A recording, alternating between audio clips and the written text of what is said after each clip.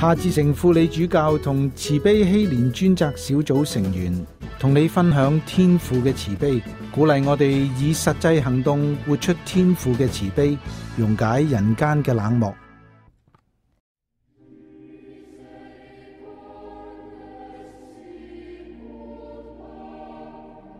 各位，我系郭志强执事，系慈悲希年专责小组成员之一。今次我想同大家分享一下关于慈悲同埋环保嘅课题，请唔好误会，我唔系打算同大家讨论香港社会应唔应该强制垃圾分类，或者应唔应该教育市民个低碳嘅生活，应唔应该津贴回收工业，应唔应该保护中华白海豚或者湿地上面嘅蝴蝶等等呢啲都系政府政策嘅问题，我喺呢度不便过问。相反。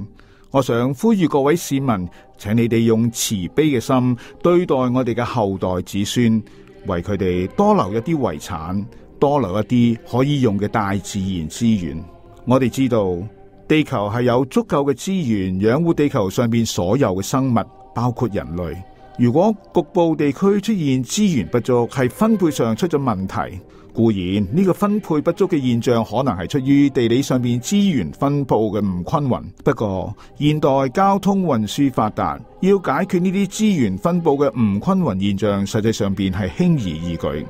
但系目前仍然有一小撮嘅人可以享受利益，而大部分嘅人仍然挨受缺乏资源之苦嘅话，恐怕主要系出于部分人嘅自私，将资源囤积甚至垄断。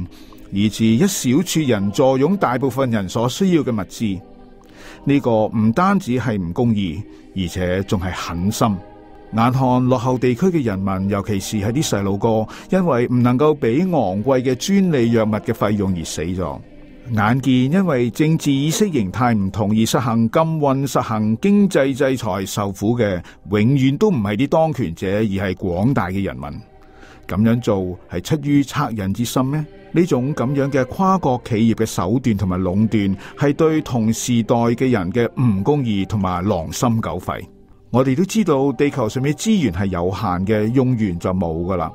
所以喺消耗嘅同时，我哋必须要及时开发一啲新嘅能源同埋资源。喺未有新发现之前，我哋有责任要放慢消耗嘅速度，否则。我哋仲有啲乜嘢可以留俾我哋嘅后代子孙呢？地下储藏嘅化石燃料系经过千千万万年喺地壳里边酝酿出嚟嘅，而我哋唔使三个世纪就将呢一啲嘅化学燃料消耗晒。